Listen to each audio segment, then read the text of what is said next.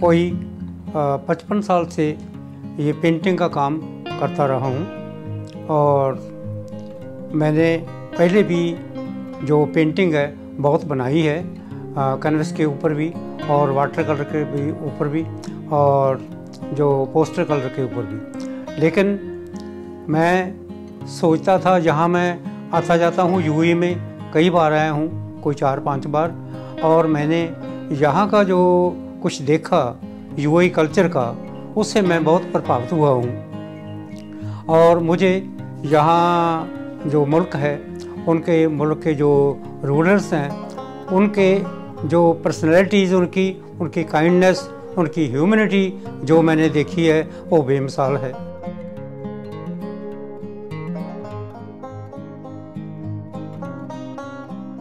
मैंने सोचा कि मैं दुबई के जो शेख हैं क्राउन प्रिंस हमदान उनका पोर्ट्रेट बनाऊँ और ऐसा बनाऊँ कि जो पहले किसी ने ना बनाया हो।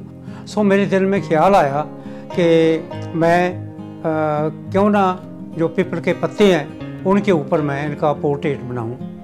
क्योंकि पहले पहले समय में एक पत्ते के ऊपर तो बनाया करते थे लेकिन इतने ज़्यादा पत्तों के ऊपर पहले किसी ने नहीं बनाया सो मैंने सोचा।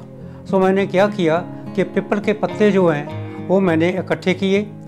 उनको पानी में भगोया और उनको एक महीना रखने के बाद उनका पत्तों का पल्प जो है, बड़ी नरमी से उतारा गया। उसके बाद उन पत्तों को जो प्रेस करके, जो उनकी शीट अरेंज किया गया, उन पत्तों की एक शीट बनाई गई। उसके ऊपर कलर किया वाइट और फिर उसके बाद शेख हमदान की जो अच्छा सा पोज मुझे लगा, मेरे दिल को भाया वो मैंने उसके ऊपर उसकी ड्राइंग की फिर आर्टिस्ट ऑयल कलर से उनको पेंट किया। फिर यहाँ जब मैं लेके आया तो बड़ी मुश्किल बात थी यहाँ यूएई में।